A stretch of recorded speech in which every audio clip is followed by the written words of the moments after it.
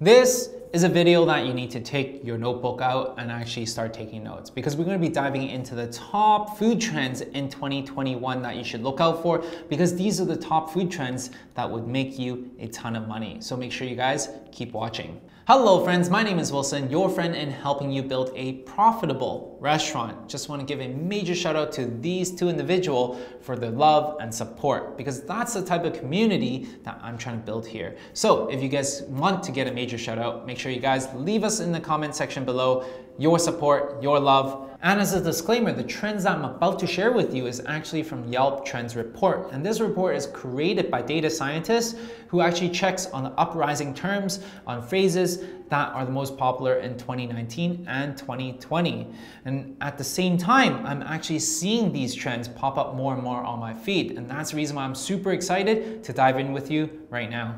Number one food trend is quesabirria. What is a quesabirria? Quesabirria is a quesadilla plus a taco and you marry it and that's what quesabirria is. It is cheesy braised beef taco marinated with birria consomme. This is like a beef broth. So it's just a madness of good stuff in your mouth. And this is a trend that was really popular back in a few years in LA and San Fran and now it is making a major, major comeback. And on the trends, it is actually increased by more than 235% in the last year alone. And that's the reason why it is so, so popular, not just because of the taste, but also because it is super Instagrammable.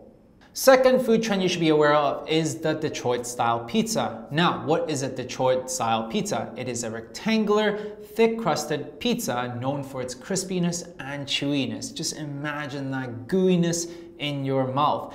That's the reason why it is so popular in today's age because everyone's looking for that comfort food at the comfort of their own home. The review rates for this term has gone up more than 52% in the last year alone. Third food trend you should be aware of is the hard seltzer. What is a hard seltzer? Basically, they are carbonated fruit soda water that is alcoholic.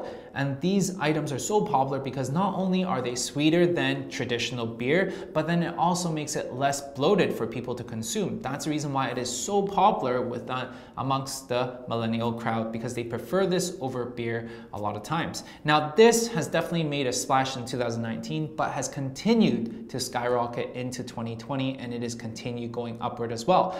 The review rate for this item has gone up more than 189% year to date. That's that's the reason why this is a huge trend going up. And a lot of different micro breweries and micro brands are popping up left, right, and center as well and getting creative with their marketing technique and seeing one of them as an Asian hard seltzer making a big splash on TikTok. Fourth hottest trend you should look out for is hot honey. Now, it is not honey coming out of microwave, guys. We're talking about honey infused with chili. That's the spin to something that is so traditional, and that's the reason why it is so popular. Just imagine this going super well with all your other main course. We're talking about pizza, we're talking about bacon, we're talking about waffles. This goes well with anything. And the review for this item has gone up more than 48% out there. So definitely don't sleep on this trend. The fifth hottest trend, and it is never going down, is fried chicken. Who doesn't love fried chicken? It is comfort food and it is perfect for what's going on in the world today. In Vancouver, it seems like there's fried chicken opening up left, right, center every single day. It, whether it's Japanese fried chicken, whether it is Korean fried chicken or whether it is American fried chicken. Regardless of whatever chicken it is, it is super popular. Japanese fried chicken really features that crispy lightness, and whereas Korean fried chicken is fried twice with a bunch of sauces on top and American fried chicken, brine and buttermilk. Who doesn't love this kind of goodness? Regardless of whatever type of fried chicken you're into, this trend is going up like no tomorrow. Just looking at the statistics, we're talking about more than 28% increase on Korean fried chicken and more than 60% increase in Nashville hot chicken. The sixth food trend you should definitely look into are sandos. What are sandos? Sandos are Japanese sandwiches and because Japanese are known for their craftiness, this trend is blowing up left, right, and center.